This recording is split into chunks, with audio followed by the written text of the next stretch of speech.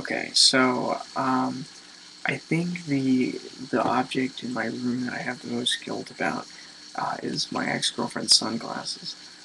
Um, because not because I still have them. I mean that's her problem, but because because for the longest time I didn't know I had them. Like she left them in my basement, and I never knew they were down there until my dad found them and I was actually with a different girl at the time, and he thought they were hers. I tried to give them back to her, and she's like, those aren't mine.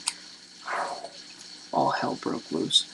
But anyways, so I've had these things, and I've been telling her the whole time, you know, no, I don't. I don't. I don't know where they are. I've never seen them before. Well, sure enough, they've been under my nose the whole time, and uh, I kind of feel like an idiot. You might say, uh, really, really stupid idiot.